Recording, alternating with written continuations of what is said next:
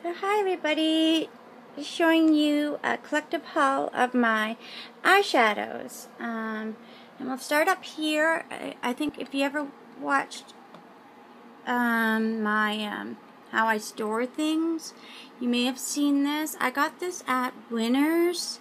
Um, it is uh, it is from uh I don't know. I can't. I can't read it, but uh, I forget.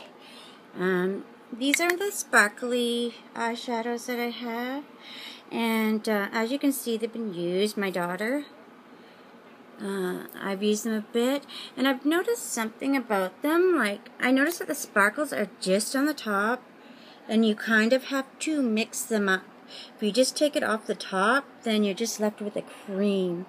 So you do have to mix them around to um, keep all the sparkles in them or like, you know, if somebody knows how you're supposed to do that correctly, you could let me know. And these are um, eyeshadows that were given to me. Um, I had I have everything open so you can see the colors, but these all closed. Um, these ones, I really like them. They're just, uh, I think they're made in China or whatever. And uh, they're very nice. You can see that I use them a lot. This one is probably my favorite. The pink. And, uh, yeah, so those are some.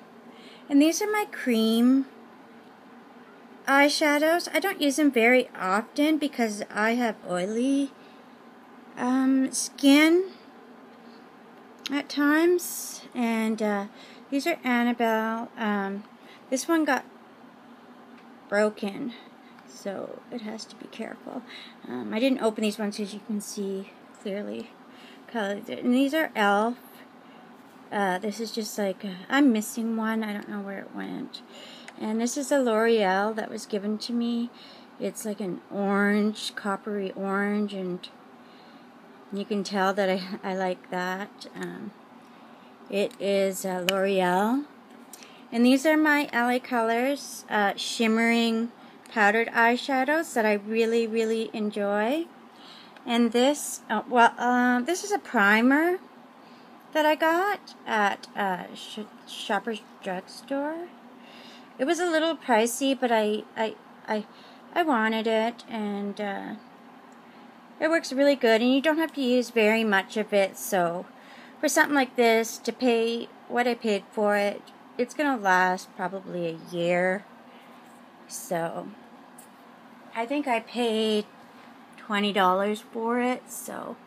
And this is a palette and it opens up and it has some um, uh, pow pressed powder in there and I really like these colors too. I like this white a lot and the gold and um, the purple. And these are my um, City Cosmetics palettes. This one is the Paris one.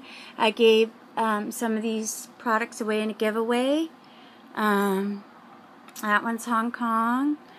And this one is uh, London. And uh, yeah, so I take the little brushes out of there because they rattle around when you carry them around and mess everything up. So, and this here is uh, my the newest one that I bought, which I had a coupon for. It is the uh, Wet n Wild. Um, this one's called Petal Pusher. And I really like that one. Um, I like this side better. I tried this side the other day, and I, mm, I, I don't know. I maybe I just did it wrong. But these ones are um, uh, just uh, like a from China as well. They're just like mass made. They have a blusher, and these are all eyeshadows. I I took the lids off so you could see the colors.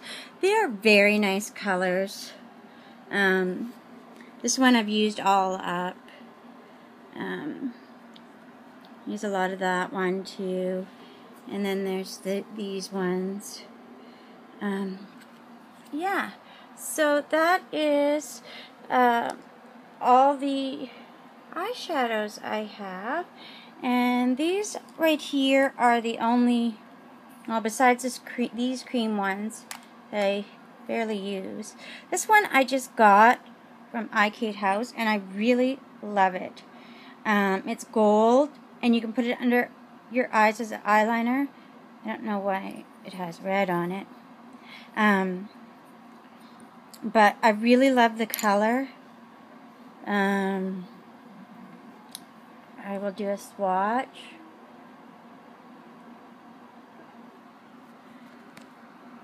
That is what the swatch looks like. It's very pigmented and pretty and uh, it stays on and I really just really like it. I ordered another um, bunch of stuff from iKate House. Um, and uh, yeah, so. And this is another one I got, and I was very disappointed because I opened it up and I went to do a swatch, and the tip broke off. And then I thought, how the heck? And I tried twisting it because this one twists, and then you get more product out. But this one I tried twisting, and nothing came out.